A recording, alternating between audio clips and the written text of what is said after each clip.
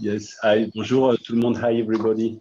Uh, very happy to to open this workshop and to welcome all of you uh, in CRFJ here, uh, Shimshon, Shimshon Baka, and uh, via Zoom also.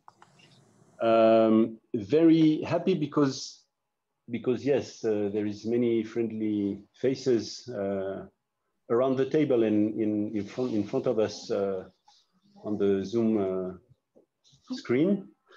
But more than that, because, uh, because of the very issue of this uh, workshop, the, les archives de Jean Perrot, the archives of Jean Perrot. Uh, this workshop is really situated at the crossroad of several dynamics and energies and projects that are uh, actually that are actually launched uh, in the CRFJ. First, this workshop is organized in the framework of the structuring interdisciplinary CRFJ workshop, Retour aux sources, back to the source, back to the sources, which was launched uh, in May two, 2020, so one year ago, uh, by uh, Estelle Ingrand-Varenne and Julien Vieugué. Uh, I remember that they were in the, in the, in the flight back to France. It was the, you remember the first, the, the premier confinement. Uh, and, uh, and they had the idea uh, of, this, uh, of this workshop because precisely because of the context of the pandemic situation, we had, we had and we have still problematic access to the sources and, and, to the, and to the data. And so they thought, and we thought, that it, it was precisely, it is precisely the, the good momentum to rethink our uh, methodological position uh, concerning the archival issues of our fields and of our uh, uh works. And so today it is the, the sixth session of this uh, workshop, back to the, to the sources. And we can say without uh, any chance mistake that it will continue uh, after, after uh, this uh, session. And uh, second, secondly, I must underline that this workshop is also following the huge work which was launched by my predecessor, not Jean Perrot, but François Bon, uh, my direct predecessor, uh, François Bon, alias uh, Le Bon François, uh, who, is here, uh, concerning the reorganization and the storage and the ranking of the CRFG archives. And it, is, of course, it is, uh, it is a workshop about the archives of Jean Perrot, but thanks to the work launched by uh, another director, uh, uh, François Bon. And of course, it was a collective work, and François Bon launched this huge work with the, the help of Yann Potin, who is here, and Chloé Rosner. Uh, she's uh, with us uh, at CRFJ. And with the decisive support of Fanny Bocquentin, who will continue the work precisely about the archives of Jean Perrot. Thank you so much, Fanny, for the work. I remember the work you launched with Julien uh, one, one year and a half ago, I think, uh, uh, downstairs. I remember it. And uh, so there is next steps uh, in, in, front of us. And this work was uh, done in the framework of our very rich and, and, and our very rich partnership with um, uh, MAE, MSH uh, Monde, and, and especially Elisabeth Belon, who is here. And with the support of uh, Anne-Yvonne Guillou, uh, I had a call with uh, Anne-Yvonne last week, and she, she confirmed that, that the MSH Monde will continue the, the partnership between CRFJ and MSH Monde concerning precisely the, the archival issue of, uh, of this uh, very institution. And last but not least, I would like to thank warmly and deeply, of course, Julien Vieugué uh, for all the incredible work that he has done uh, downstairs uh, during the, these difficult uh, months that that we that we had about and around the paper archives. And today we had the project with Julien to organize an official uh, inauguration of this new archaeology department, department, department, yes. department d'archéologie. Uh, but we had to postpone it uh, next year because, yes, the situation is better. that easy to to come from abroad, and so for uh, having uh, having champagne and so on, it was better to postpone it uh, maybe in September or, or October. And this, yes, this inauguration will be the celebration of all the work launched by uh, Francois again and finalized by uh, Julien Vieugué. And, and I'm sure that all of you will, uh, will be happy to, to participate. Many thanks again to, to you all. I'm sure that you will have an excellent workshop. I hope, of course, to welcome you again personally here at, uh, at CRFJ in the coming, uh, coming months. Merci beaucoup. Julien. Hello, good morning, everybody. So I am also very happy to be to be here for this workshop dedicated to, to Jean Perrot's uh, archives. So I would like first to thank as well uh, all the scientific and administrative members of the French Research Center in Jerusalem, uh, in particular Vincent, uh, Estelle, and as well Liz, who helped uh, a lot for the organization of this, uh, of this workshop. So in the introduction, I will uh, not speak a lot about Jean Perrot because, um, of course, it's very difficult to, to summarize uh, his life in five minutes. And as well, I should say I'm probably not the best one to speak about Jean Perrot because uh, when I started to work in Israel in 2014, uh, unfortunately, Jean Perrot was already died and I sadly never had the opportunity uh, to meet him. Uh, but I will anyway uh, say some words and why we decided to organize this workshop about Jean Perrot's archives. So Jean Perrot is, of course, a leading figure of prehistoric uh, archaeology in the Near East. And yesterday, when I when I spoke with Isaac, he said to me, Jean Perrot was a big boss. and I think, uh, I think uh, actually at that time, uh, he, he, was a very leading figure of uh, prehistoric archaeology. So in Israel, actually, between the 50s and the 70s, he excavated uh, very important uh, epipaleolithic sites, such as Malaha, but as well Neolithic settlements, such as Abu Ghosh, Beisamoun, and Munhata. And of course, uh, very uh, significant chalcolithic sites, uh, such as uh, Abu Matar or uh, Safadi. So I would say Jean Perrot at that time contributed significantly to the development of large-scale uh, systematic excavation.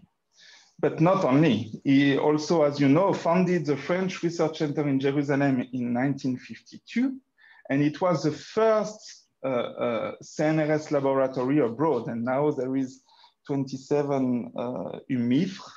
Uh, so, of course, uh, Jean Perrot was very important uh, for the CNRS regarding the international research. And he also created, uh, for example, in collaboration with Bernard Vandermeersch, uh, the Paleo-Orient Journal in 1973, which is dedicated to the prehistory and protohistory of the Southwestern Asia. So, so of course, Jean Perrot was a very, uh, very important uh, uh, archaeologist and uh, also diplomatic person, I would say. Uh, such a very active life, we can say that, uh, triggered a unique scientific and administrative documentation that remain greatly unexplored because I would say, unfortunately, Jean Perrot did not publish a lot. In the framework of several research projects, some scientists started to explore Jean Perrot's archives in order to answer some uh, uh, current issues in prehistory, such as the place of the dead in the Natufian or the emergence of pottery during the seventh millennium Cal BC, but as well some current issues in history, uh, such as the development of archaeological institutes after the creation of the Israeli state uh, in 1948. So the main objective of this workshop is to promote the discussion about this fascinating ongoing research by bringing together anthropologists, historians, and archaeologists who are currently working on Jean Perrot's archives. So we will have today six uh, presentations. Uh, the first one by Gwendoline Torterat, Adrien Delvoye, and Nejma Goutas, who will uh, actually uh, um, present, do a presentation entitled From Yesterday to Today, the Making of Prehistory. And they will present the future research that will be developed within the framework of the future UMR temps. So UMR, it means laboratory. um, then Elisabeth Belon, Julie Besnet, and Erwan Legueux will, um, will provide an overview of Jean Perrot's archives, which are currently stored at the MSH Monde in Nanterre. Chloé Rosner, who is, who is historian, uh, will, uh, present his, uh, will present our research about Jean Perrot and his influence on the Israeli uh, archaeology. And then we will have uh, three contributions of uh, archaeologists, one by Fanny Bocquentin and collaborators who will present their ongoing fascinating research on the, the famous Natufian site of Malaha. Uh, Julie Bessenet, Elisabeth Belon, and myself will present an, on an, ongoing study on the archives of Jean Perrot's excavation at Munhata. And at the end, uh, Isaac Gilead uh, will do a presentation entitled Les Carrés de Jean, Digging and Recording the Beersheba Chalcolithic Sites. I should say I really love this title because Isaac is, is the only one who is not native French speaker native uh, French speaker, and he wrote his title in French. so we can we can see the influence of uh, Jean Perrot on the, on the the Israeli archaeologists. And at the end, we will have a final discussion uh, with François Bon and Yann Potin, and I'm sure it will be uh, he will be very very fascinating with, with both of them. I'm sure we will have uh, interesting exchange. So I will, um, I will uh, immediately give, uh, so the, we will start directly the, the seminar with uh, Gwendoline, Adrien and Nejma. Uh, if you can, if you can share your, your screen.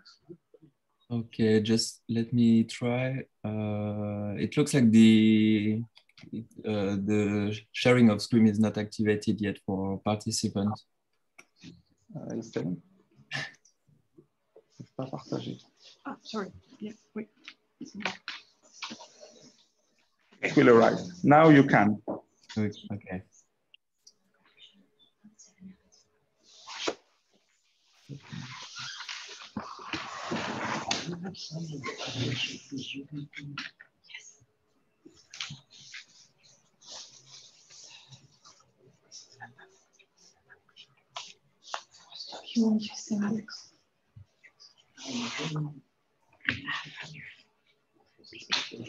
Okay, that's okay. So I just widen it a bit. Okay, that's good. And I give the word to uh, Gwendoline with thoughts. Uh, hello, everyone, and thank you to Julian for the invitation to participate in this seminar. Uh, today, the archival treatment of Jean Perrot's research fits perfectly into one of the themes of the future uh, UMR temps of the CNRS, which results from the merger of two French research uh, structures, the Prehistoric Ethnology Team of the ArScAn Laboratory and the Prehistory and Technology Laboratory. One of the structuring uh, themes of the prehistoric ethnology team is dedicated to history, epistemology, and valorization, which in the framework of the future laboratory has been renamed History, Sociology, and Anthropology of Prehistoric Archaeology due to broad, um, broadening of our multidisciplinary approaches to other human and social sciences. Within this theme, one subtheme is in particular will be discussed here its title is also the title of our intervention from yesterday to today, the making of prehistory and exploration of archives, collections, ethnographic and ethno-historical resources. Um, it currently brings together 26 collaborators from different backgrounds, universities, CNRS, culture, national education, INRAP, etc. Its aim is to highlight certain blind spots linked to the production of knowledge in prehistoric archaeology in France and abroad. Hmm. We consider here the historical roots of this knowledge from the uh, 19th century to its recent past uh, mid uh, 20th century, but also the multiple ways of putting archaeology into practice today. A return to primary sources as well as a reflexive and critical look at the lato sensu archives, uh, textual, iconographic, audiovisual, uh, makes it, uh, it possible to recontext, recontextualize and re-exploit the data from recent excavations. These data are evaluated in the light of current scientific issues, as well as the excavation and analysis methods that address them. And this, um, this subtime we present you today is also concerned with the history of ancient collections and their archives, sometimes often dispersed at the whim of various events but also their scientific valorization and their restitution to the scientific community. The chaotic history of uh, certain collection has revealed a way of doing archaeology for a very long time and has caused uh, sometimes an erosion of heritage and memories, as well as an uh, often damaging loss of uh, scientific information, sometimes leading to error or dead hands in interpretation. Uh, so today's archaeologists cannot, however, claim to be able to overcome this risk uh, once and for all.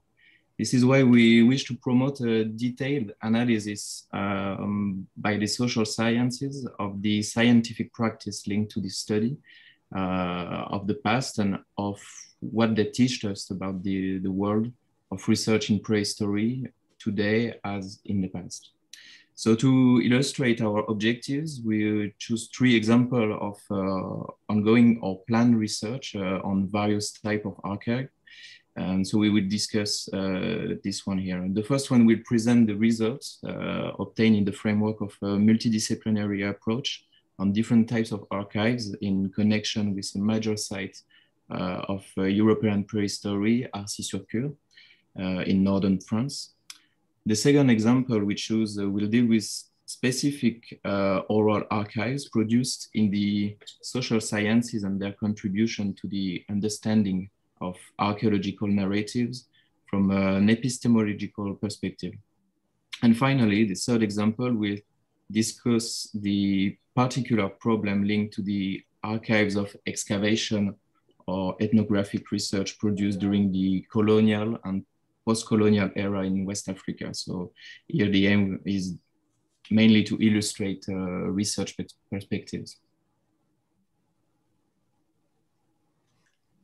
Uh, we are uh, now going to present the result acquired uh, in the framework of recent projects on the archaeological site of Arcy-sur-Cure and more broadly the Arcy Saint-Moré Massif as colleague Nejma Goutas uh, is unable to be here today, I will play the ventriloquist uh, on her behalf. The Arcy-sur-Cure Saint-Moré Massif, located in uh, Bourgogne in the Cure Valley, is one of the richest areas of prehistoric occupation in the Bassin Parisien Excavated for more than a century, there are currently about 15 caves and shelters that have yielded the remains of occupations ranging from the Middle Paleolithic uh, to the Neolithic. Arcy-sur-Cure in particular is a reference site uh, for the European Paleolithic, but it's also historically a major study, study laboratory of prehistorians from the northern half uh, of France, and especially for the CNRS team, Prehistoric Ethnology, heiress to the laboratory founded in 1967 by André Leroi-Gourhan. Also, the first excavations at Arcy-sur-Cure date back to the end of the 19th century. It was with the arrival of André Leroi-Gourhan in 1946 that a real research program was set up on the Arcy-sur-Cure uh, Saint-Moré Massif. Excavations were carried out there from 1946 to 1963, founded um, no, by uh, his team, sorry, then by some of his collaborators or uh, students. Uh, you have uh, Francine David, uh, etc. It's written. Uh, Arcy then became a pioneering site for the application and new analyses. And on the other hand, in the application of one of the most innovative approaches for the time formalized by André Leroi-Gourhan, an ethnology of prehistoric uh, populations. Since uh, 2015 and 16, two new research projects have been initiated, VERARCI and uh, Deux Arcs. They were born of an observation, the absence of a general synthesis of the various field operations and studies carried out to date on this massive, and the desire to safeguard the old archives, archives, uh, which are known to be very fragile. This dynamic gave rise to three postdoctoral research projects and a third research project. Our objective was and still is to make the most of the different types of archives available and to produce new ones, excavation archives, sedimentary archives, archaeological archives, and also oral archives. Our aim is better understanding of the history of research and the geological, paleo-environmental and human history of this massive over the long diachrony. Thinking in this way, this project necessarily take place over a long period of time, uh, linking archaeology, archival, archival studies, history of science, social anthropology, epistemology, and scientific mediation for the general public. These projects are structured around several objectives. Um, firstly, a conservation objective. Almost uh, 12,000 documents have been digitized and inventoried in a research instrument. This classification plan is directly accessible to all of uh, to all at the archive department or on the Deux project website. This work has made it possible to save the photo negatives and the documentation of the excavations carried out between 1946 and 1963 by André Leroi-Gourhan's team. Eight old films on the Arcy caves have also been digitized. They allow us to discover new or little known facets of these excavations, uh, the festive life on the site, the first test of molding objects, uh, the methods of excavating the trench spoil, the arduousness of the excavations, etc. We would like to pay tribute to Philippe Soulier, prehistoric archaeologist and science, uh, science historian, who made it possible to inventory, classify, and identify many of these documents. And without him, uh, a whole section of our projects uh, would not have been possible. A second component concerns the collection and production of new data in order to give meaning to the ancient archaeological collection from the Arcy Saint-Moré Massif. It's imperative to overcome the artificial fragmentation from which they suffer by reconstructing their history from the excavation uh, to their current location, uh, place of place of discovery, year, excavator, donor, etc. We have thus begun the time-consuming work of cataloging the collections, currently visiting six institutions in France and two abroad. An original work of recollection of the memories was also carried out. The aim is to shed light on the hidden face of the history factory by interviewing former excavators from Arcy-sur-Cure. Nearly uh, 13 hours of recordings were made and transcribed in an exhaustive manner. The accounts cover all the periods of exploitation over the Arcy-sur-Cure site during André Leroi-Gourhan's time. Um, this corpus of raw data has been uh, has since been enriched and valorized within the framework of a postdoctoral research project carried out by uh, me which I discuss after. The official history of this site has been built around the fame of a few individuals, the most famous of whom is André Leroi-Gourhan. And however, in reality, all the people involved in the excavation sites are transmitters of memory. These people, often anonymous, also construct the history of a site and participate directly or indirectly in the construction of knowledge, whether it be scientific, academic, or general public. The, scale, the stakes uh, of this research uh, are therefore based on a cross approach of two human sciences, anthropology, social anthropology, and archaeology. The uh, two, other postdoctoral researches led by Alfonso Ramirez Galicia, a Mexican archaeologist and historian, focused on the archives of the Reindeer Cave and the André Leroi-Gourhan School of Thought and Creation. In the manner of an ethnographic uh, survey, the aim was to reconstruct a history of past scientific practices based on the detailed reconstruction of life on the site and thus to contribute to comparative study of the process of professionalization of prehistoric archaeology during the 14 and 60s. This research focused on the archives of the excavations of the Gravesien and Châtel-Peyronien levels of the Reindeer Cave. This work um, also made it possible to reconstruct uh, in the form of plans, the various stages of the first excavation campaign in 1949, and in particular to reconstitute a possible habitat floor in a sector of one of the Gravesien layers uh, that has remained problematic to this day in the absence of a definitive publication at the time of uh, Leroi-Gourhan.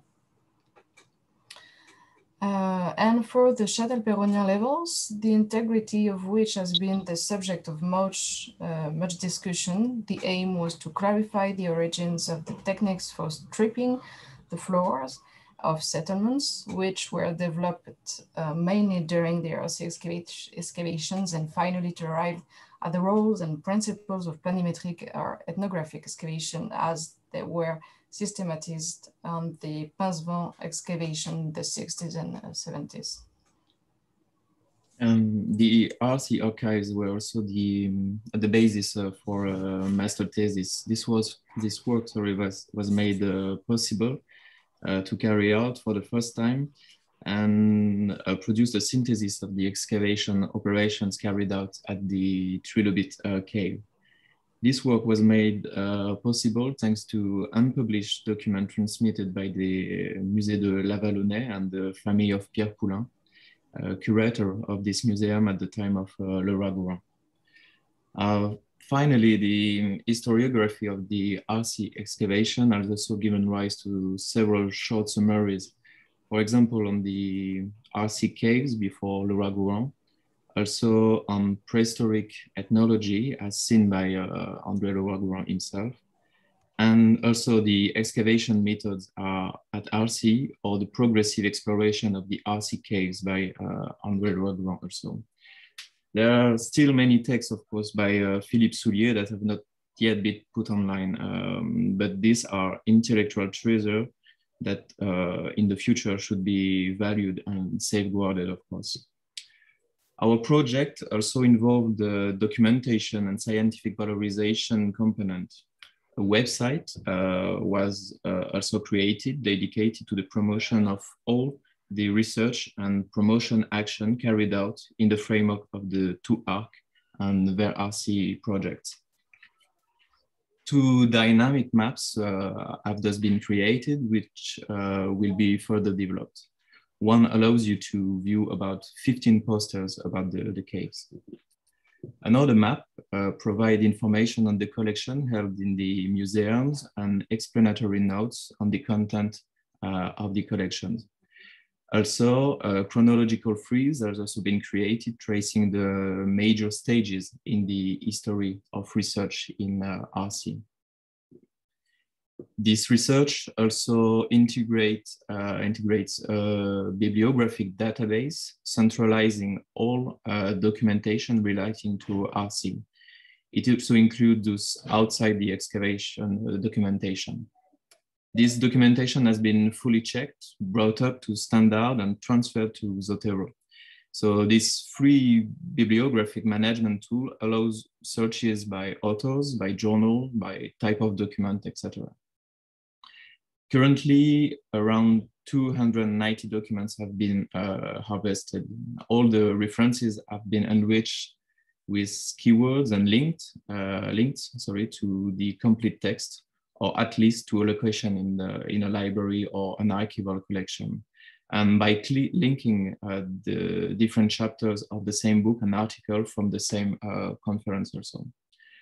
A bibliographical connection, VERARCI, was also created on the platform of uh, multidisciplinary, multidisciplinary open archive uh, called HAL, which aims at gathering and giving access to all that is deposited here. Our long-term objective is to make an almost exhaustive uh, inventory of the sum of research on the Paleolithic occupation of the cave of Arcy-sur-Cure and also Saint-Moré Massif. Finally, we also work to have uh, Arcy included in the Grand Site collection of the Ministry of Culture. In parallel with the research on the excavation ar archives dating on the Gravettian uh, bone industry was carried out and new studies were conducted on the food and technical exploitation of the mammoths uh, in the Gravettian period.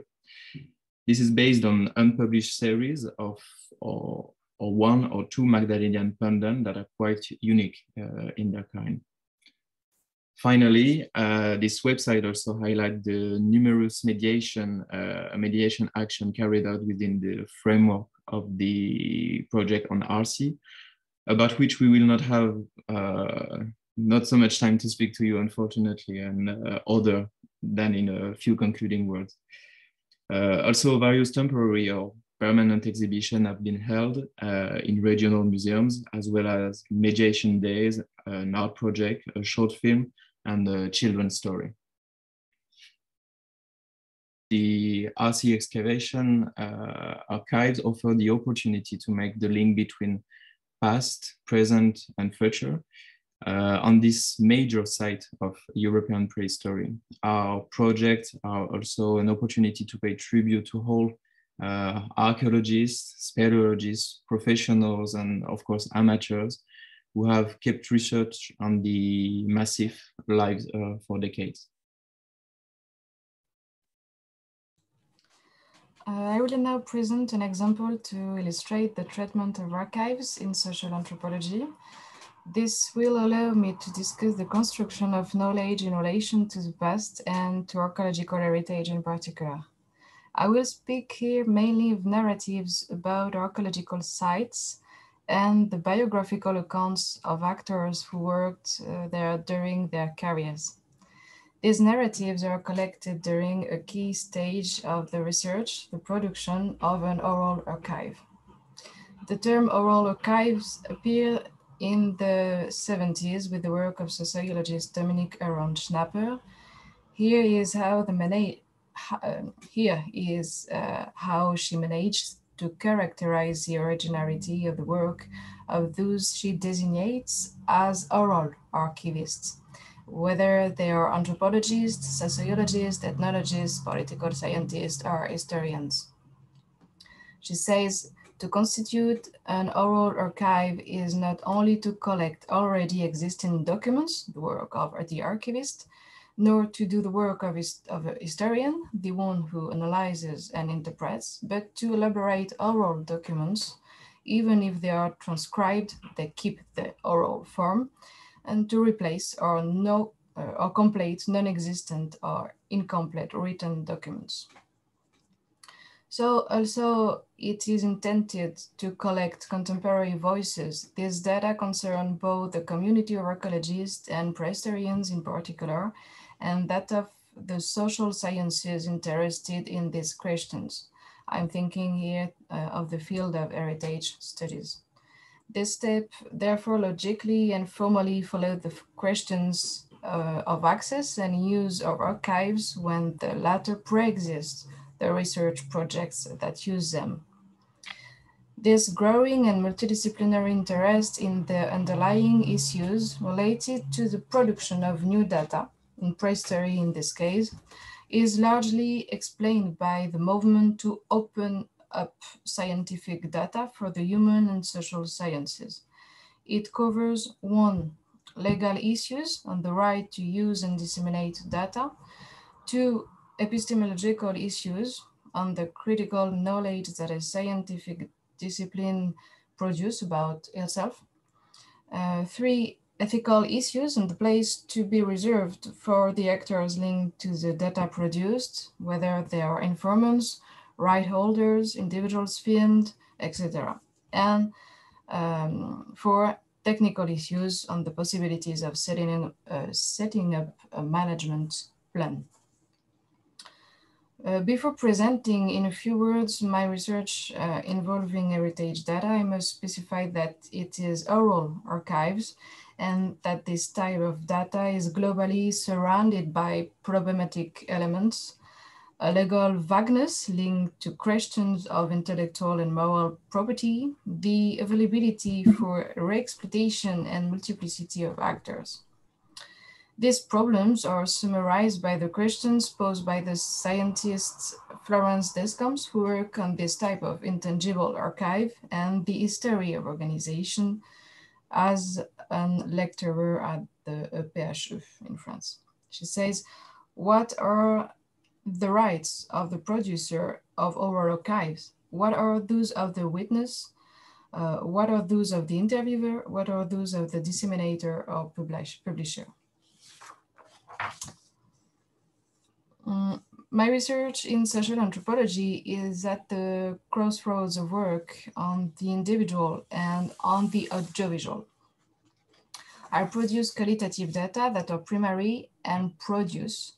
I will return to this distinction later. I will not talk about the data produced during the research I conducted during uh, my uh, the PhD between 1912 and 19, uh, 2012 and 2018, sorry, but rather the data produced in the postdoctorate I carried out between November 2019 and January uh, 2021 as part of a contract funded by the Ile-de-France region.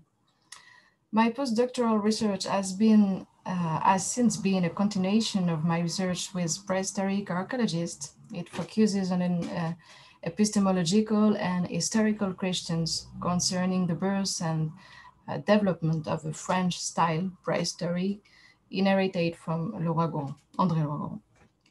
From November uh, uh, to January uh, 2021, in connection with the aforementioned project Deux Arcs, I have investigated the actors, excavators, archaeologists, and amateurs who worked in the caves of Arcy-sur-Cure uh, between 1946 and 1963 in order to constitute a set of administrative documents that will fit the archaeological aspects that the research on the site has allowed uh, to build up until then.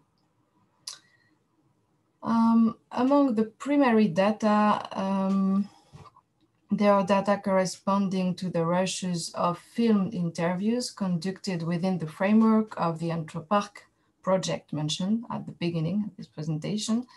Uh, I extend these interviews to the scale of the prehistoric ethnology team, so future UMR by realizing corpus for the prehistorian members uh, of this team, which is the heir of the one originally funded by the prehistorian André Leroi-Gourhan.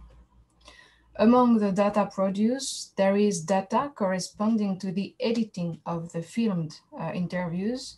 This is built on the basis of a thematic chaptering with integrated timecode and is linked to a chronothematic file produced in PDF and exhaustive transcriptions of the interviews. The first step in the constitution of my audiovisual is to establish a contract of trust with my interlocutors by drawing up a written and standardized, uh, request for authorization to capture and broadcast images and sound.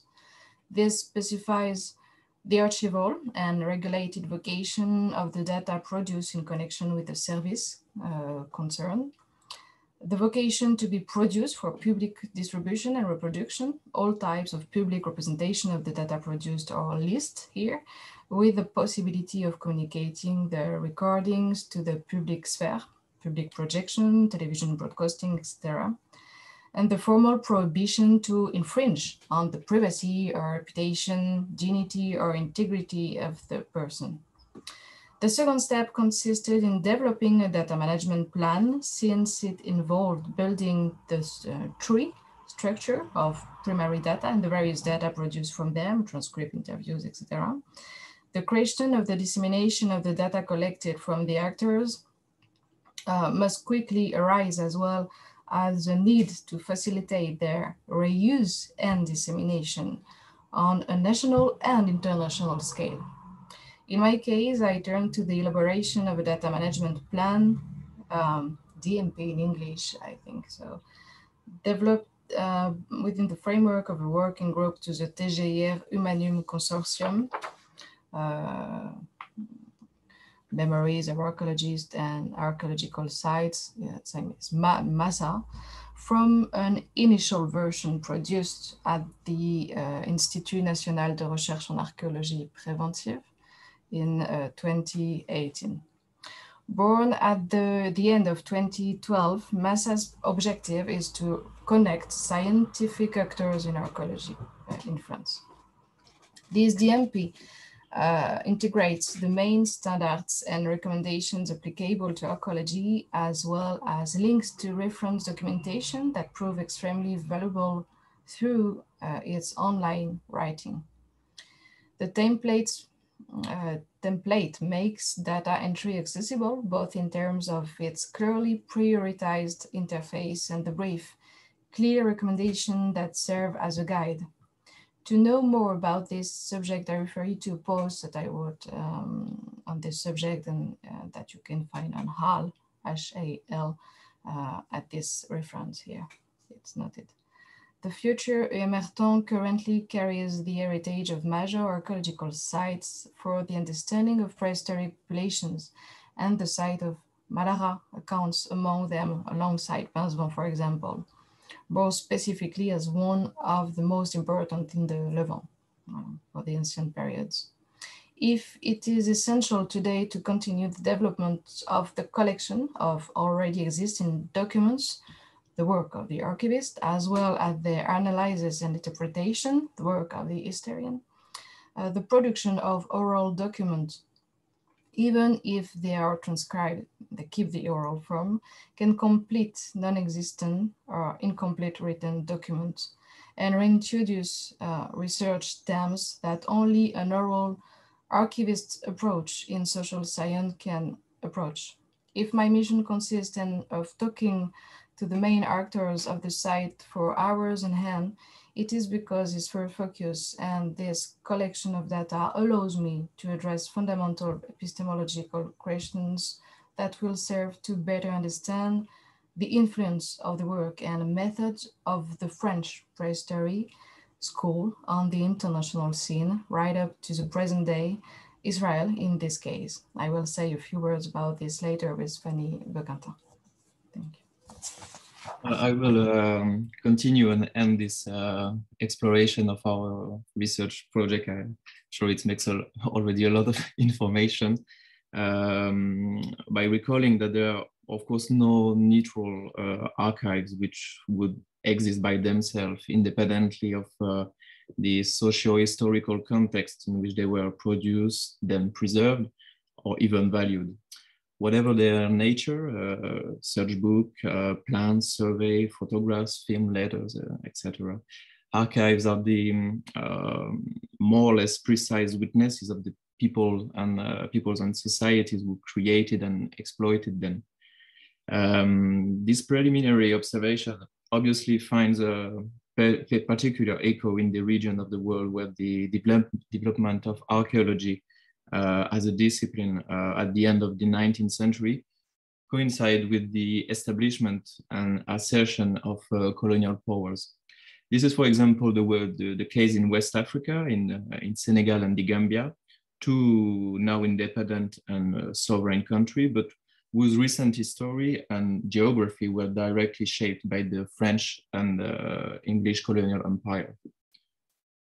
Uh, Senegal and the Gambia offer interesting example as archaeological research was uh, particularly dynamic uh, in these two countries during the, the 19th and 20th uh, uh, century, mainly because of nearly 20,000 uh, megalithic funerary architecture present on these territories first exploratory, exploratory sorry, uh, works made by amateurs and members of the colonial uh, administrations were gradually replaced by more scientific and uh, methodological approach.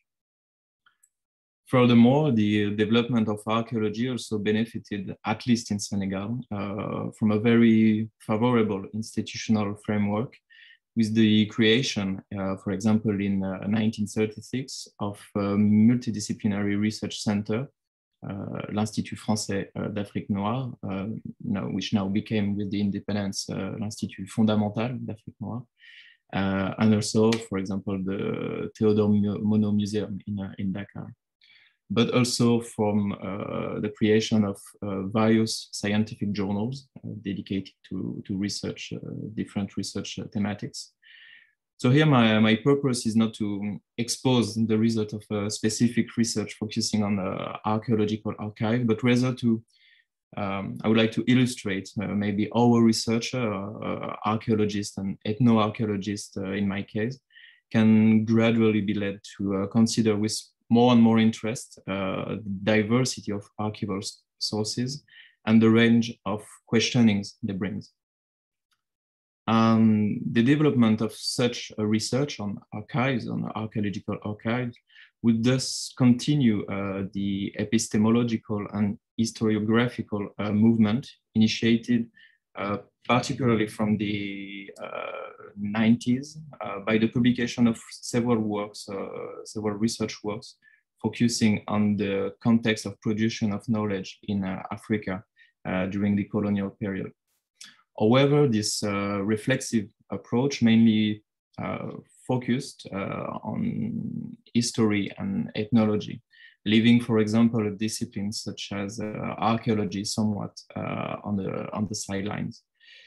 However, um, for example, Pekka, Pekka Masonen's book uh, describing uh, the invention and conceptualization of uh, medieval uh, Sahelian empires encounter a, a, really significant and important success and show and show the, the need to multiply such approaches in, in this region of the world. Uh, one step in this direction is uh, digitizing and placing online uh, with unrest free and unrestricted access. Uh, the Raymond Mauny archives, a famous Africanist, archaeologist, and historian, um, who was also a researcher at the IFAN Institute presented uh, before, uh, between 1947 and 1962. He was also uh, then a professor of medieval African history uh, at the Sorbonne University. So this this accessible online fund is uh, so is really important documents for for research.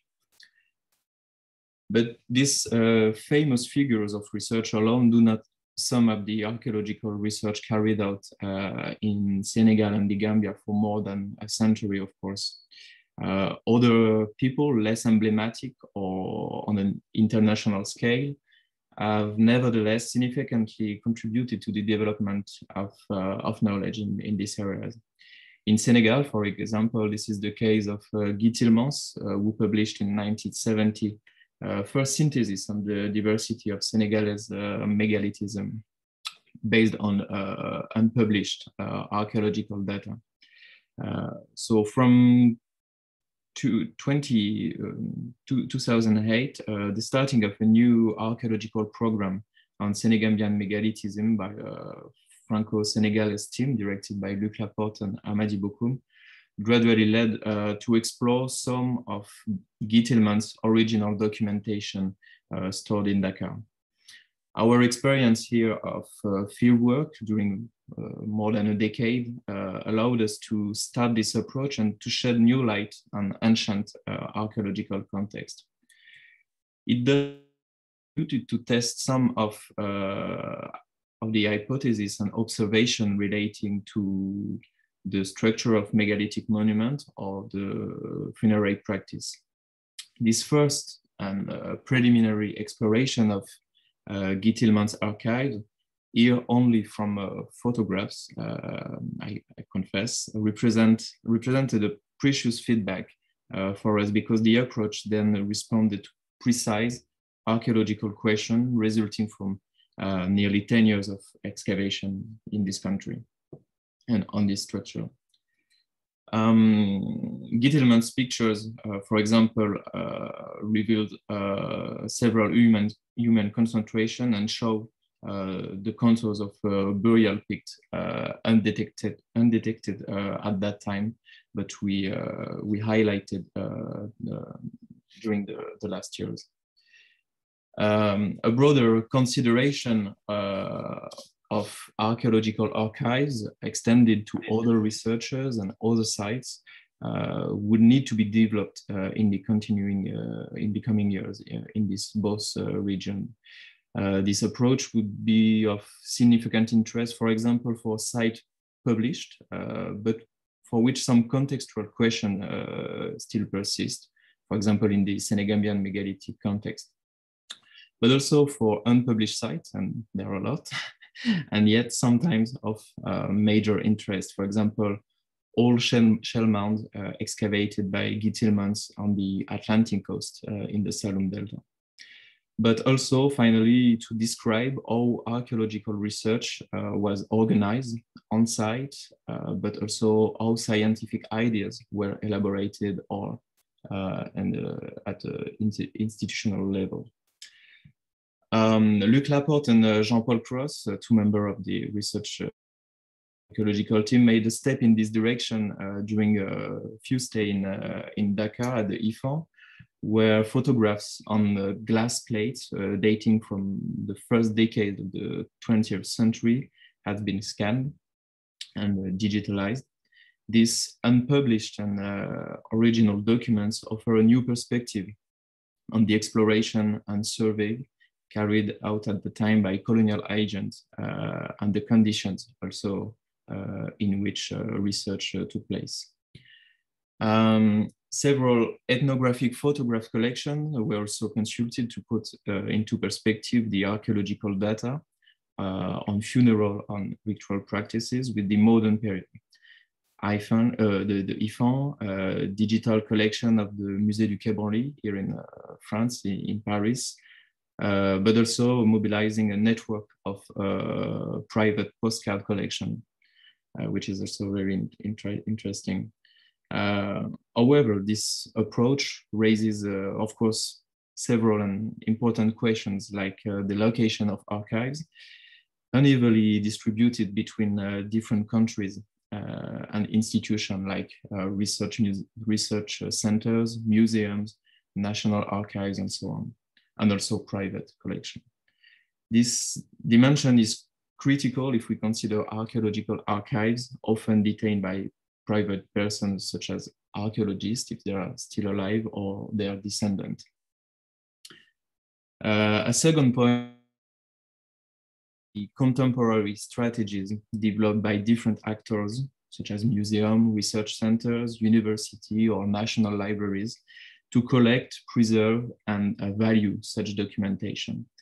I will uh, shortly and uh, illustrate.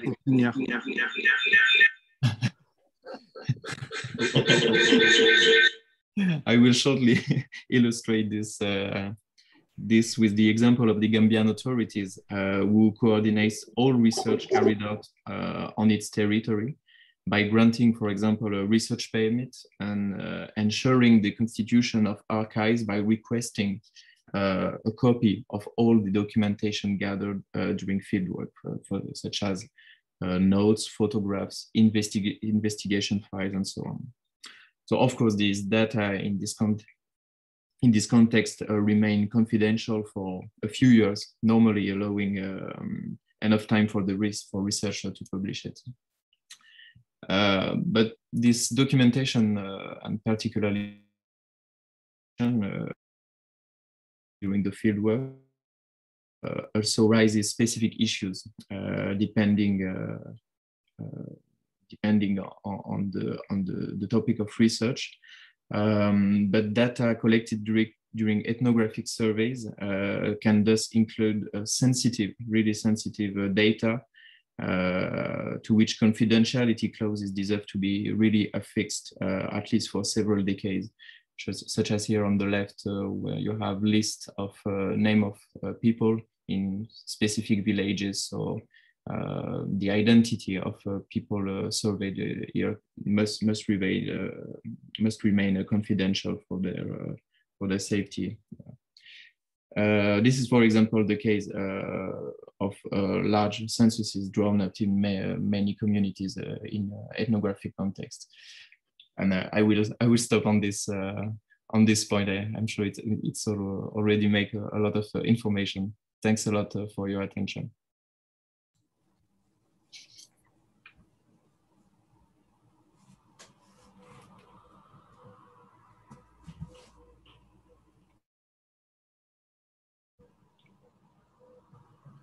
Ah, Julien, on t'entend pas. Je... Oh, sorry, Julien, we do not hear you.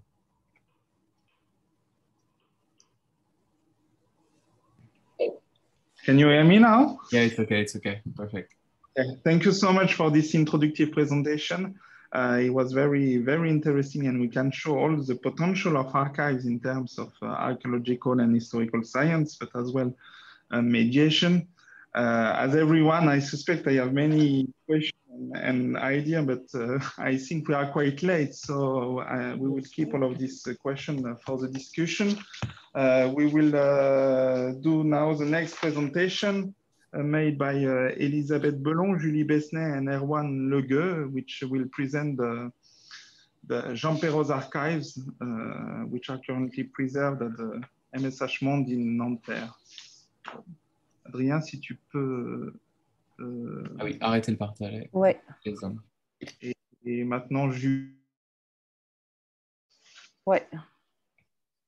And so please try as much as possible to respect uh, to respect the time. It's, uh, it's I can't uh, do any sign from here. It's it's quite difficult. So. Okay. So Julie. Yeah. Um...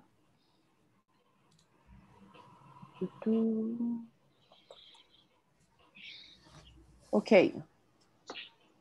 So, uh, good morning to all of you. Um, in this talk, I will briefly present uh, Jean Perrot's archives, which are kept as the archives service of uh, the MSH uh, ou, uh, or Maison des Sciences de l'Homme Monde in Nanterre near uh, Paris. My colleagues Elisabeth Béon and uh, Erwan Neugut are unable to be here today and they uh, apologize uh, for that. So Jean Perrot is one of the best known French archaeologists in the archaeology of the Near East.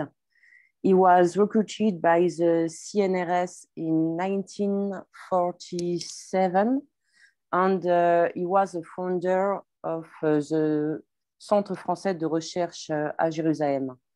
He directed uh, numerous excavations in Israel, many on site dating uh, from uh, the Epipaleolithic to the Bronze Age. In 1967, he was nominated by the French Ministry of uh, Foreign Affairs as director of the French archaeological delegation in Iran and he also became director of the archaeological mission of Susa. Uh, from that moment on, he took over from Roman Ghirshman and he supervised the excavation in Susa uh, until 1979, the year of the Iranian Revolution. During uh, the last years of his life, Jean Perrot was a member as an honorary research director of the laboratory ArScAn, and this is why his scientific archives were transferred to the archive service of uh, the Maison des Sciences de l'Homme uh, Monde in Nanterre. Um, beginning in 1998, Jean Perrot made three transfers of archives that corresponded mainly to the field documentation of the excavation he had directed in Susa. Uh, after his death, uh, three other transfers were made by his families and colleagues. Uh, there were documents corresponding to the work he had carried out uh, in Israel, as well as his publications document. In 2013, uh, the Centre Français de Recherche à Jérusalem also made an important transfer of, of archives that uh, completed uh, Jean Perrot Fonds, already kept at uh, the Maison des Sciences de Monde in Nanterre. Finally, in 2020, Mrs. Yora Kolska-Horwitz kindly agreed to donate the excavation catalogs that had uh, been given to her many years ago by uh, Jean Perrot himself. So according to French legislation, Jean Perrot's scientific archives are considered as public archives. Indeed, documents uh, produced by a researcher working in a public institution within the framework of his of or her professional activity are considered to be public archives regardless of uh, their medium. Uh, public archives are free accessible to the public once the archival process of classification has been completed. Uh, concerning the reuse of public information, it is free of charge, provided that the origin is mentioned and the integrity of the information and any intellectual property rights attached to the documents are respected. So today, the archival process uh, has been uh, completed for nearly 50% of Jean Perrot archives that have been transferred to uh, the Maison des Sciences de, de Monde Archive Service. This corresponds to nearly 40 linear meters.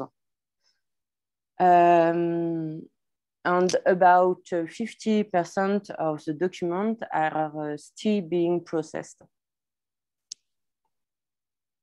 Now, concerning the document whose archival process has already been completed, uh, then consists of a fond divided into two series, each of which is divided into two sub-series. The first series correspond to the direction of the French Archaeological Mission in Israel, and it contains all the documents corresponding to the research activity carried out by Jean Perrot as a director of excavations. Uh, for this moment, the archive, this archive series includes uh, only two sub-series, but uh, should eventually be completed by new sub-series corresponding to the excavation directed by Jean Perrot on other Israeli archaeological sites. Um, the first sub-series correspond to the excavation at En Mallaha and Beisamoun Ma'ara. It consists mainly of four excavation notebooks, 350 plans, sections, and drawings, five catalogs, nearly 7,000 photographic documents, and 13 excavation reports. The archival process of the document from Jean Perrot excavation at Mallaha was carried out in 2017 and 2018 by Erwan Goethe within the framework of the archival and documentary project called uh, Collection of Sources. The interest of this project was to gather the archives and documents related to the excavation of Natufian sites.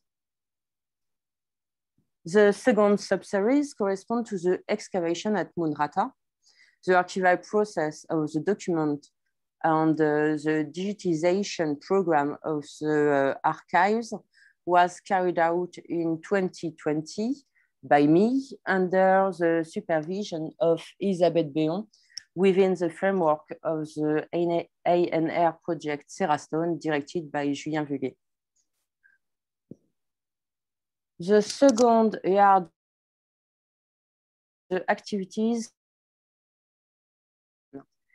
it is also divided to this day into two sub-series. The first one corresponds to the document produced in the context of uh, Jean Perrot's function as director of the French archaeological delegation in Iran, and it consists of management and administrative documents, as well as professional and scientific letters.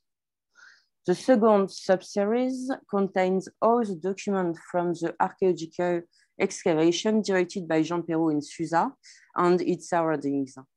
It is an extremely important collection of several tens of thousands of documents. The field documentation is organized as originally by excavated area, the plain of Susa, the Acropolis of Susa, the royal city, the Apadana, the Shaur Palace, the Artisan Tepe, or the modern city of Susa. It can be noted that uh, the system of recording of the field data is the same as that Jean Perrot developed in the late 50s for the pre prehistoric sites in Israel. So there are excavation notebooks that contain a description of each locus, as well as field observation made during the excavation. Uh, there is also uh, the excavation catalog that lists the excavation artificial units on the object discovered. The location of each unit is, is indicated on, that, uh, on the corresponding graphic journals. And the graphic journals uh, uh, is a general plan uh, of, the of the structure being excavated day by day. And the locus and catalog number are also indicated on their plans. So, um, next one, no. Mm -hmm. Yeah. Next. ah, I don't know why it's, okay.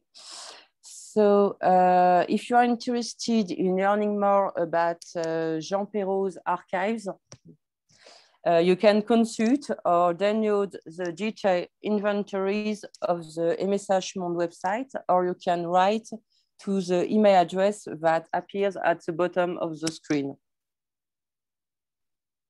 Thank you for your attention.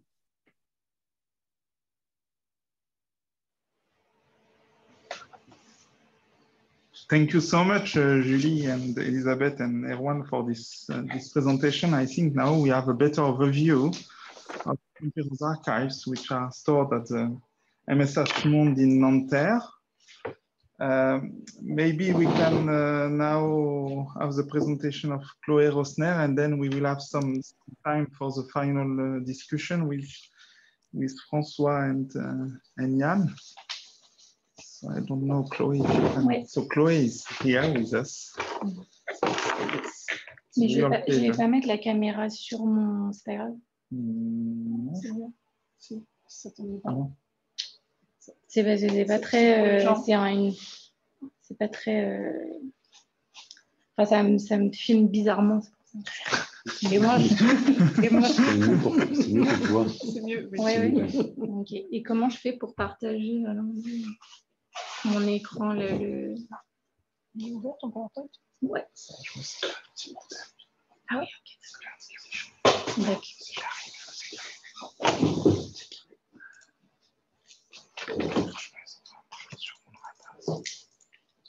Surtout. Ouais, ouais. ouais. là, tu, elle est mise. Je vais c'est un nouvel ordi, donc ah bah oui, on voit. C'est bon. Ok.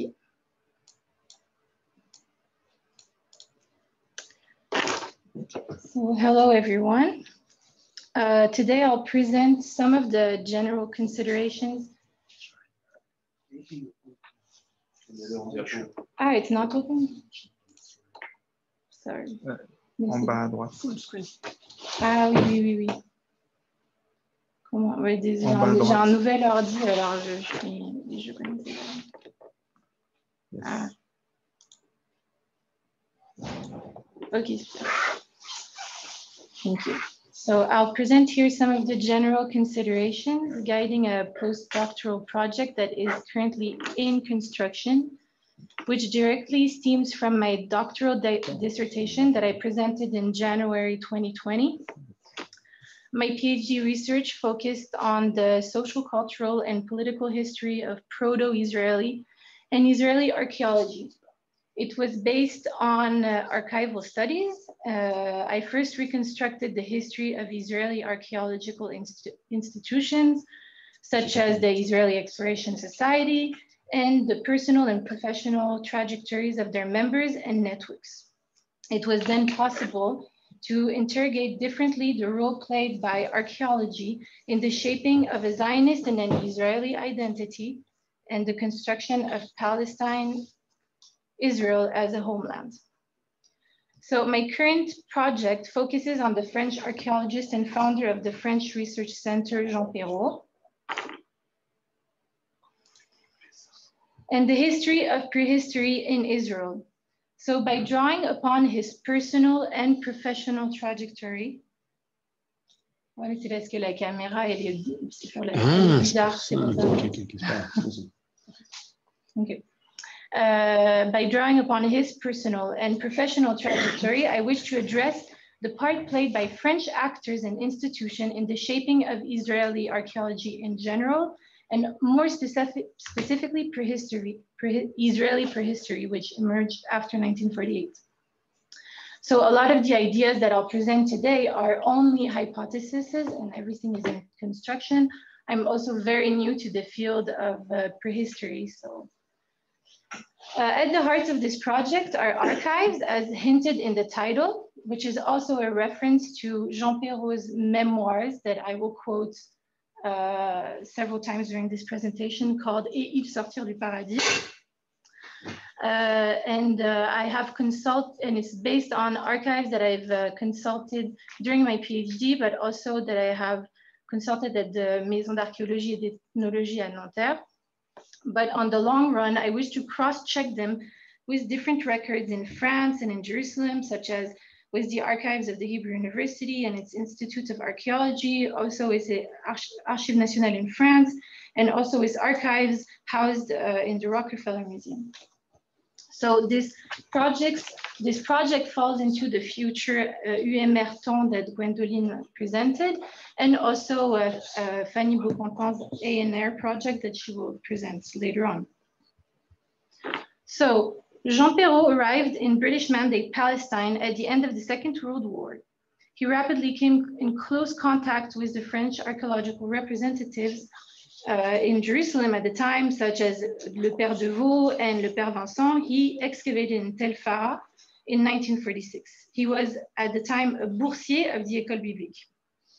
He also met René Neuville, who returned to Jerusalem in 1946 and who, as most of you know, significantly con contributed to the de development of prehistorical research in the Levant and French archaeology in general. Indeed, French archaeological activities in Palestine were quite scarce because they were concentrated in areas under the French mandate. So Palestine was a bit on the margins. In parallel, Jean Perrot built through his personal relations connections with the proto-Israeli archaeologists such as Binyamin Mazar, Yigael Yadin, and also PLO guides who work uh, in the Israeli administration of antiquities after 1948. So a lot of my postdoctoral project will concern Jean Perrot's personal and professional networks in Palestine, but and in Israel after 1948 and also in France.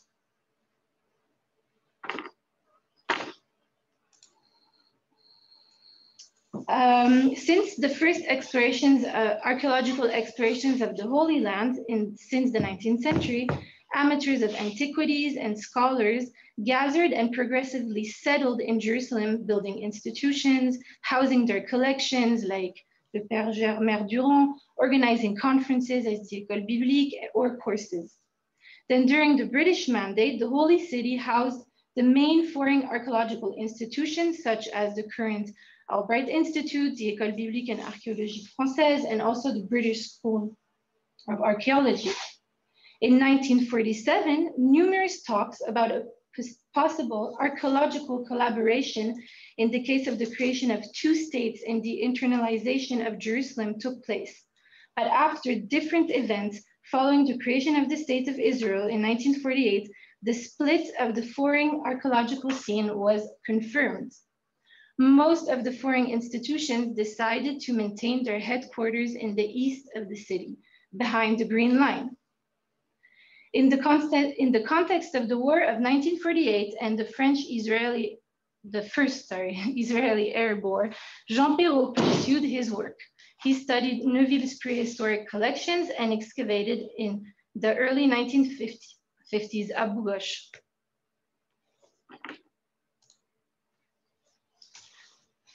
Revealing his potential as a, as a, as a successful archaeologist, as René Neuville recommends um, Jean Perrot for a bourse uh, de recherche at the CNRS.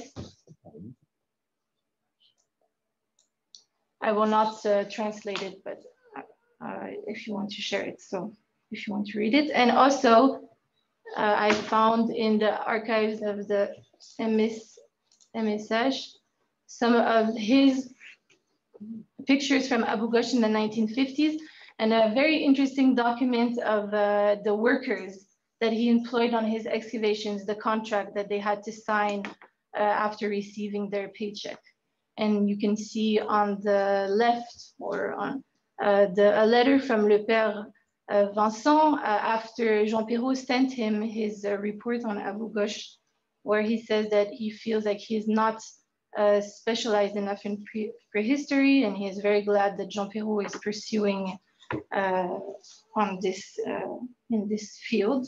So a promising archaeologist already. After 1948, Jean Perrot also maintained Neuville's contacts with scholars from the Hebrew University especially in the context of the resumption of the work in Umm el Katafa after 1948. So I think maybe I would be very happy if some of you can identify people on the, these pictures that I believe that some of them are members of the Hebrew universities, such as I think uh, George Haas or uh, Leo Picard maybe, but I think they are mostly from the university, which shows that um, Jean Perrot fostered this French-Israeli collaboration after uh, 1948. So through Jean Perrot, René Neuville's heritage was maintained during the first pre prehistoric activities led in the new state of Israel uh, as early as 1949. I can quote, for example, Sha'ar Golan, excavated by Shtekelis. And uh, more generally, uh, through Jean Perrot, we can see that a French school of thought in prehistory was still present. Uh, also, again, through the tra trajectory of Moshe Shtekelis, who also worked with Neuville and was in close contact with L'Abbé Breuil, who encouraged the study, for example, of the artifact of Bakar that uh, Shtekelis published an article after 1948 on the subject. This French connection lived through Shtekelis' students, such as Ofer Bar Yosef, and so on until today.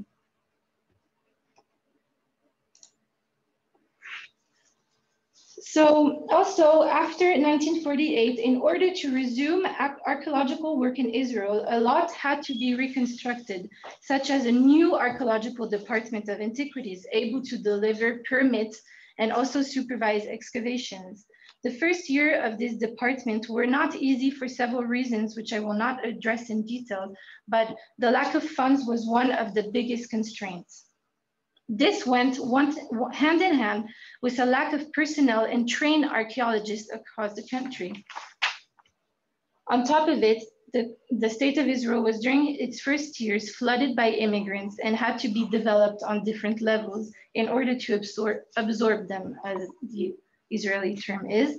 The numerous destructions and reconstruction and constructions taking place in the first years of the state, led by the new government, affected archaeological activity as Emmanuel Ben-Dor, Vice Director of the Israeli Department of Antiquities and Museums, informed the Bureau of Education and Culture in 1951. I quote here.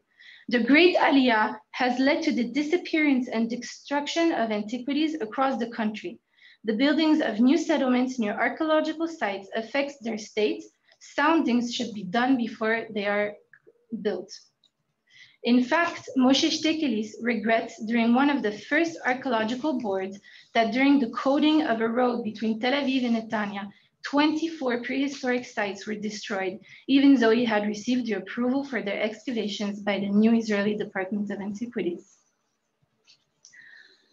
So in order also to resume archaeological research in Israel after 1948, the new state, the new government and uh, director of the Department of Antiquities decided to promote foreign expeditions in the country. Because as I said before, most of the archeologists decided to stay behind the Green Line in East Jerusalem. So in a letter to the Department of Public Works in September 1948, Shmuel Yeivin, who was the first director of the department, writes, it is difficult to assume that any foreign expedition will be able to excavate in the state of Israel as long as it will have to pay such high wages to daily workers. Whereas in the Arab part of the land of Israel and in neighboring countries, one may pay a quarter of this wage and even less to a daily worker. On the other hand, no governmental budget can support the general activities of excavations on its own. Moreover, this is undesired scientifically for all are keen to participate with scientists from other nations in large-scale research of the antiquity of, the lands. Even the na national scientific societies are not enough and they also do not have very large sums of money at their disposal to carry on the shoulders the whole burden of archaeological exploration. With time, people will not pay attention to the fact that the high wages are involved, but will acquire the, the impression that Jews do not allow, allow foreign teams to work in their region. The reason for the absence of foreign expeditions can be found also in the current political situation in the region. For example, Jean Perrot notes that for diplomatic reasons, he could not say his scientific activities were partially funded by the CNRS and the Commission, des Fouilles Archéologiques of the Foreign Affairs Ministry. In 1953, the commission informed the French consul in Jerusalem that because the commission funds and works in Arab countries, it would be inappropriate to re reveal that Jean Perrot's relationship with the commission. They would rather name it the Mission du Consulat Général de France à Jérusalem, therefore not mentioning Israel. In order to encourage foreigners to resume their excavations, the Department of Antiquities, with the approval of the Ministry of Education, published an open letter in the 1950s in which it offered every foreign archaeological expedition a subsidy amounting up to two thirds of its expenditure on additional wages, up to around 2,000 work hours per season.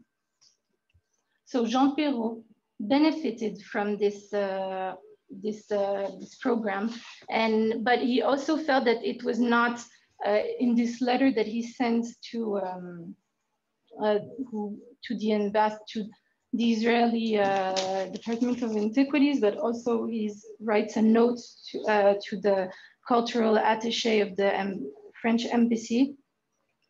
It was advantageous, but it was not on the long run uh, if he wanted to um, organize long periods of excavations. That's what the letter is. It's, it's, it was helpful, but not if you wanted to work for long, on the long term and not in a uh, like a very rapid excavation.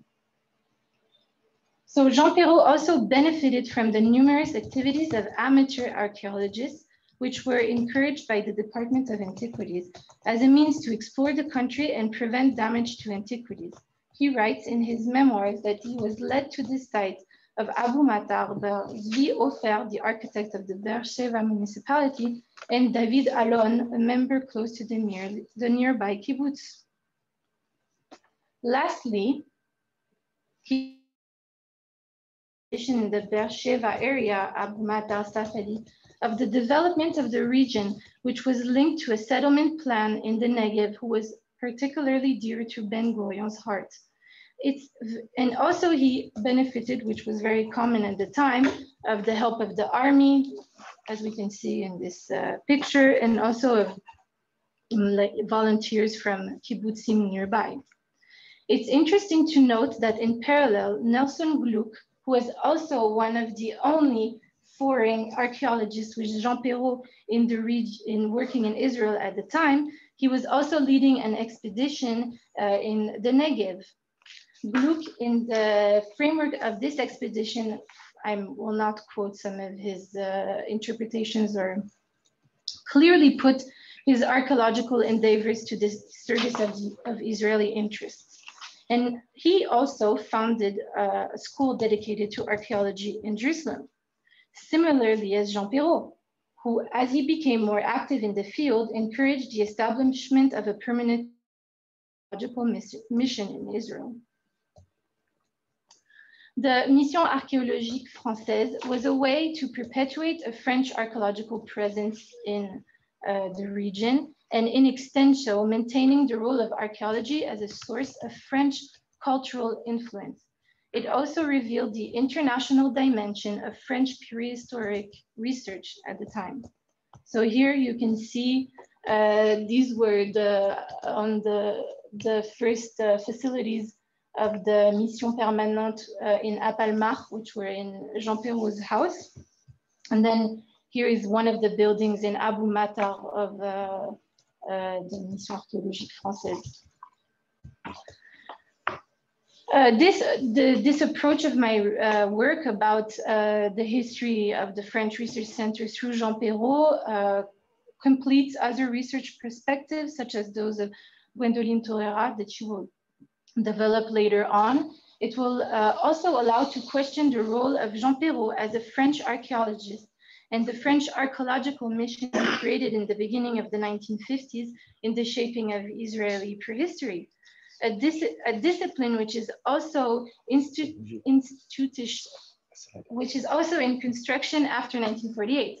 In fact, it's only after that period that Moshe Shtekelis uh, managed to uh, offer a place to prehistory at the Hebrew University, establishment, establishing the Department of Prehistory in the 1950s. Uh, so I, I, hope to, um, to dig deeper into the creation of the Department of Prehistory at the Hebrew University in, uh, in connection with my work that I did during my PhD about the history of archaeology at the Hebrew University since its establishment.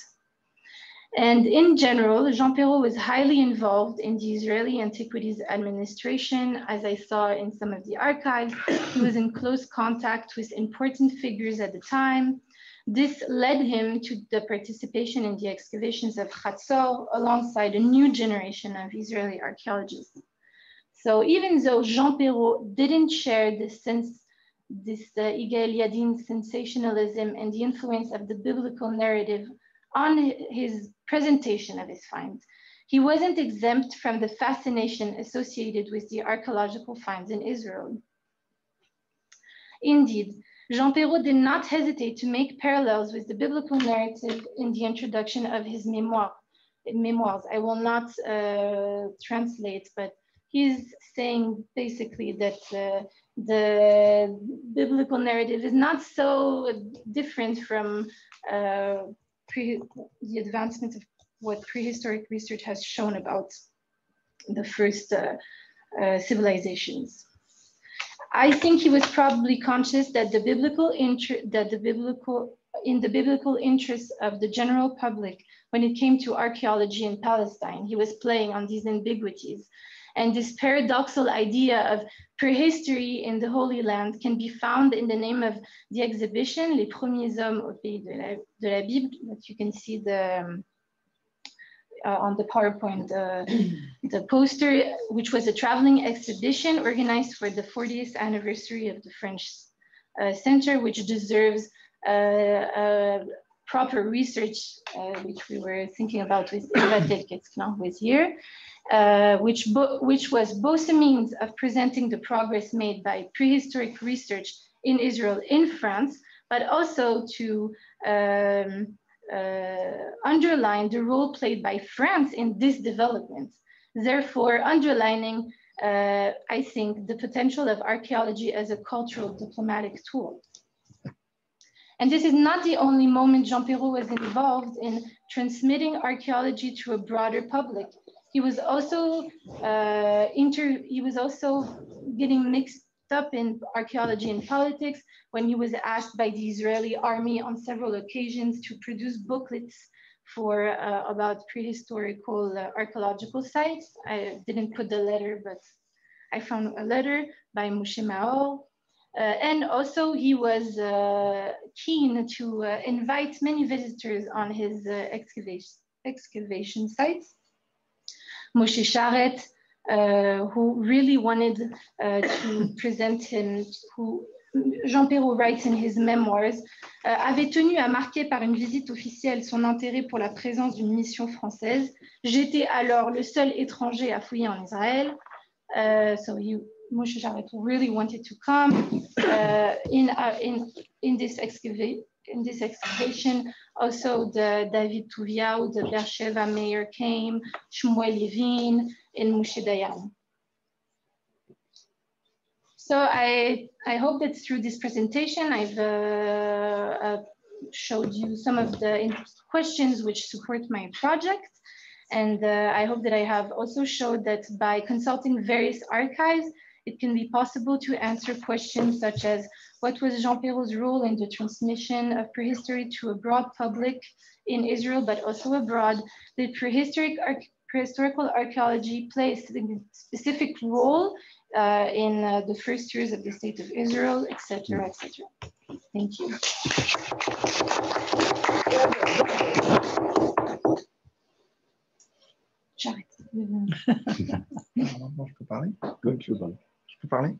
Thank you so much, uh, Chloe. It was a very great presentation and it shows uh, the importance of uh, Jean Perrot in, in prehistoric archaeology in uh, in Israel, uh, of course, we are quite late. So I don't know, maybe if uh, Francois and Jan, if you want to say some words, and maybe we can raise some, some few questions before the coffee break. Um, just a few words, uh, not for for for for, for just for congratulating all the speakers. Um, and maybe uh, uh, it, it, it will be more useful to to give the to take some time for question from uh, uh Israeli friends uh, and keep time for the end of the discussion, the end of the. Okay. No. Francois, what do you think? No, I, I, I know I I agree. First of all, I would like to, to say how I'm very, very, very deeply happy to be among you and to see uh, a lot of, uh, of faces that I, am I'm, I'm very pleased to see, even if some screens are, are still black now. But uh, anyway, uh, no, it's, it's a great pleasure. I think uh, Jan, has, uh, is right. Maybe we can keep the, the, the, the general discussion for the end of, of the and, and, and but now maybe if someone has some uh, particular question, it could be very interesting also to to. Uh...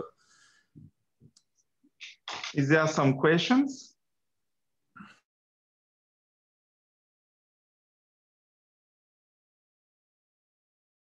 Because when I saw the first uh, presentation, and uh, you know, the, um, mainly focused on Leroi-Gourhan archives, uh, probably someone already had the idea, but I think it would be it would be quite interesting to compare uh, how Leroi-Gourhan and Jean Perrot, more or less at the same time, build their schools because uh, okay, there is some common aspect, but uh, as you probably know, Leroi-Gourhan and Jean Perrot School are, are quite as well different.